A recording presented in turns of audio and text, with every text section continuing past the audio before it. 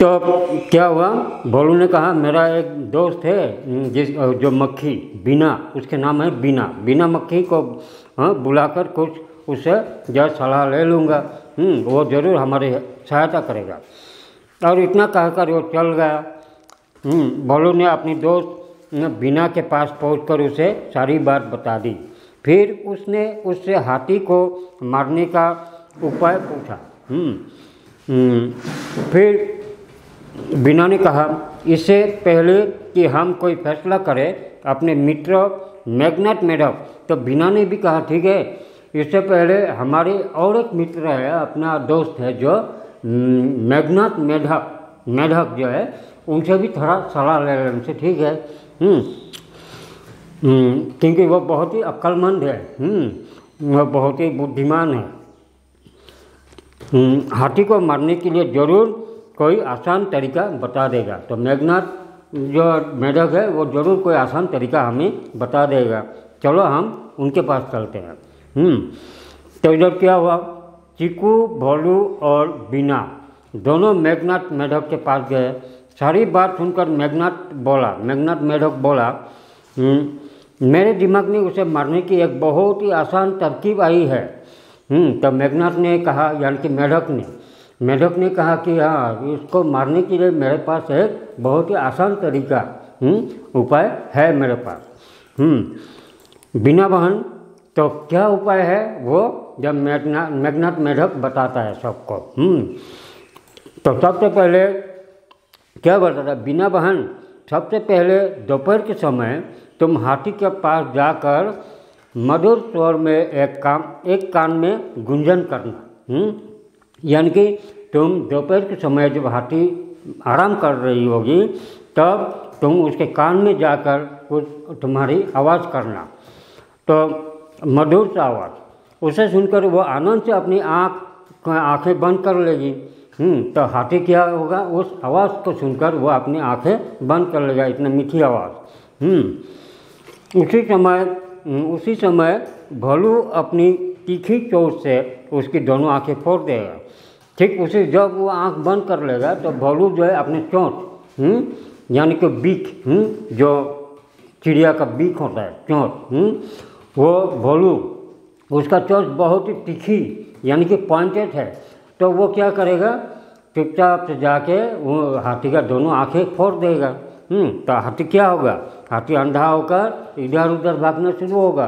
हम्म, थोड़ी देर बाद जब वो भागते भागते हम्म, क्या होगा हाथी? थोड़ी देर बाद उसको प्यास लगेगी। तब मैं खाई के पास जाकर अपने परिवार सहित ज़ोर ज़ोर से टर टर की आवाज़ करने लगूँगा।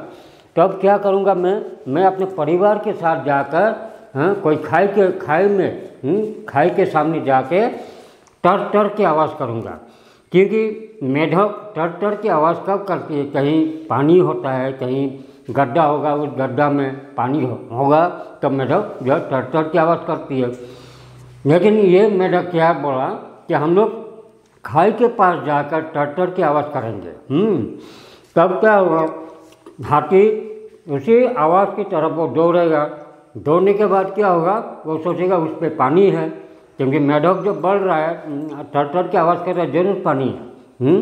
तो वो उसी तरफ़ जाएगा तो क्या होगा जैसा आपने कहा था, बिना भोलू ने, ऐसा ही कहा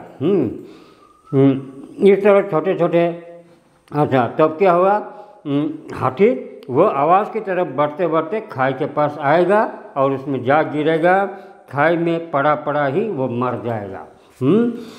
तो हाथी उस पर पानी है सोच के उस खाई में जाएगा तो खाई में नज़दीक में पहुँचते ही वो जब गेहूँ सूर को नीचे करेगा तो वो जो है उस खाई में गिर जाएगा।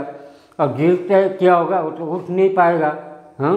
तो उठ नहीं पाएगा मैं धीरे धीरे वो दिन बीतते जाएगा तो धीरे धीरे जो है वो वही पड़ा पड़ा मर जाएगा। हम्म तो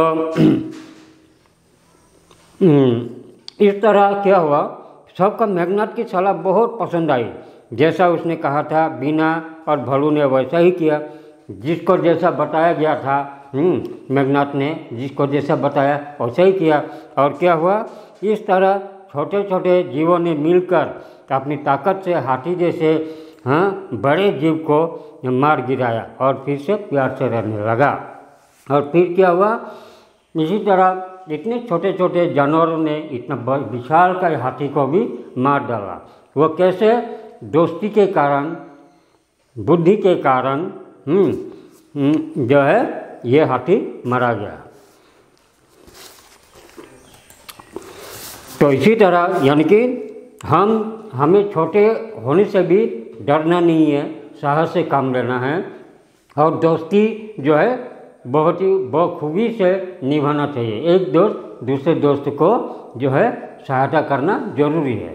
तो इस कहानी पे हम लोग को पता चला हम्म, कि दोस्ती कितनी बड़ी चीज़ है और दोस्ती भी सच्चा दोस्ती होना ज़रूरी है।